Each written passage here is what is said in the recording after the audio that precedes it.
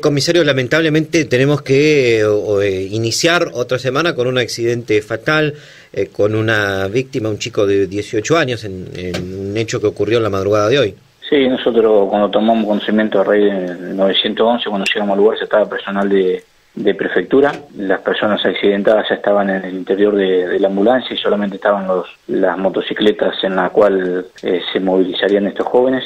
Es una Tornado negra y una Suzuki 100 de color negra y hoy a la mañana, alrededor de las 8, 8.30, tomamos conocimiento que uno de ellos había fallecido. No tenemos testigos presenciales ni nada, así que estamos tratando de, averiguar a ver qué puede haber ocurrido. Lo que es llamativo es que una de las motos prácticamente no tiene daños y, y la otra sí está muy destruida.